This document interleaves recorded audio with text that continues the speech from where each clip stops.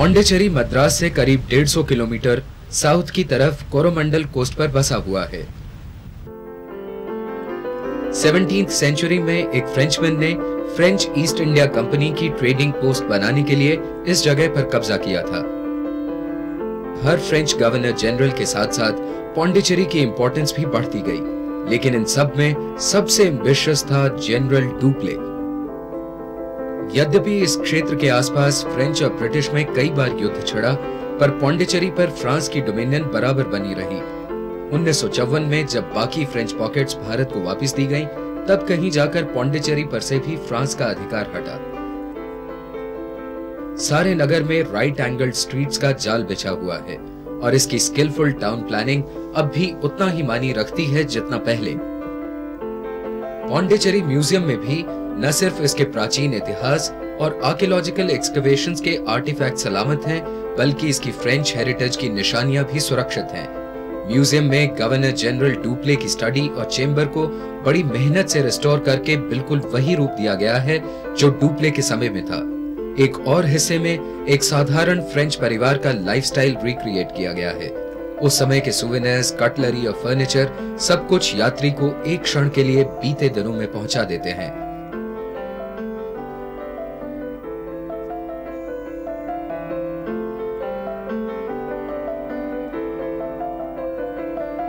लेकिन मॉडर्न पौंडीचेरी का असली चरित्र पुराने घरों और इमारतों के फ्रेंच आर्किटेक्चरल स्टाइल में झलकता है, जिनमें बीते कल का विलास और वैभव अभी भी बरकरार है।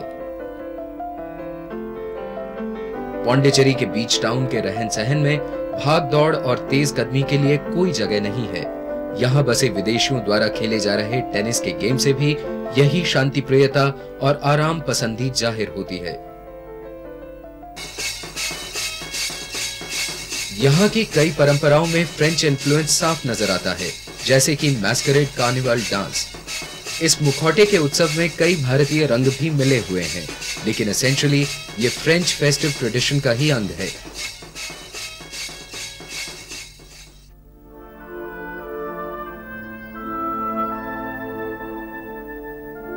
यहाँ के गौथिक चर्चेज यहाँ के निवासियों की श्रद्धा का प्रतीक हैं।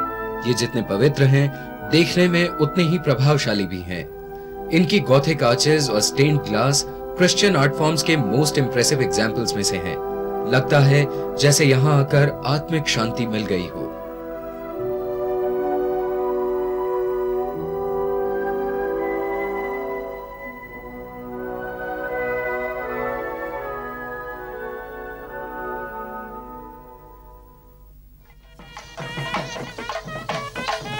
लेकिन दक्षिण भारतीय परंपरा भी यहाँ उतनी ही स्थापित है जितनी की फ्रांसीसी।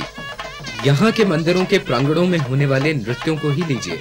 प्रादेशिक रिवाज और संगीत की अजब ही जुगलबंदी दिखाई देती है।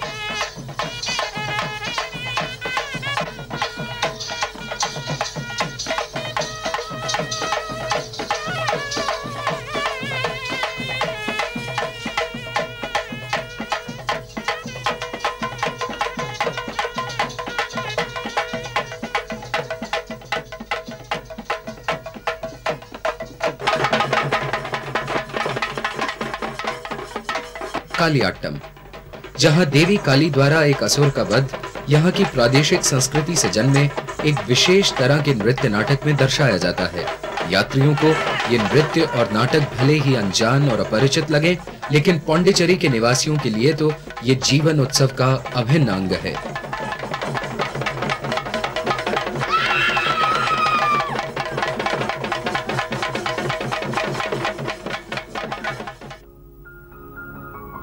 सारी पौंडेचेरी में व्याप्त आध्यात्मिक वातावरण औरबिंदो आश्रम की वजह से और भी गहन हो जाता है।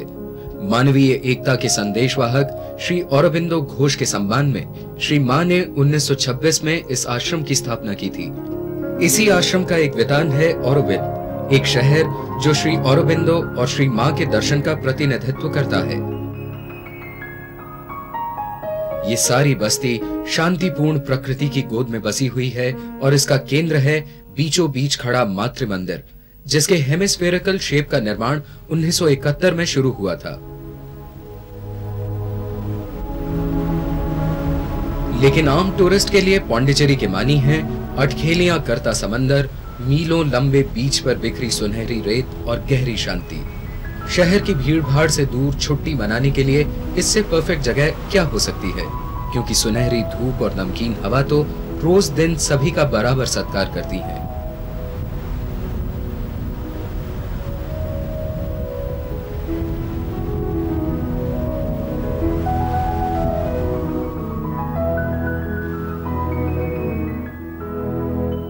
इस पूरे क्षेत्र को मॉडर्न टूरिस्ट ट्रैफ़िक सस्टेन करने के लिए काफ़ी इंफ्रास्ट्रक्चरल सपोर्ट दिया जा रहा है शहर के लिए एक आधुनिक एयरपोर्ट का निर्माण किया गया है वायुदूत की उड़ानें पौंडीचेरी को बाकी भारत से जोड़े रखती हैं।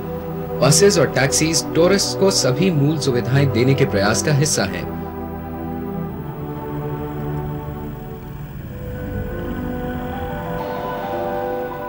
जैसे कि है बीच साइड कैफ़े जो कि एक फेवरेट टूरिस्ट हॉन्ट बनता जा रहा है पूरी एस्प्लेनेड में इसी तरह की आकर्षक कॉफ़ी शॉप्स की पूरी कत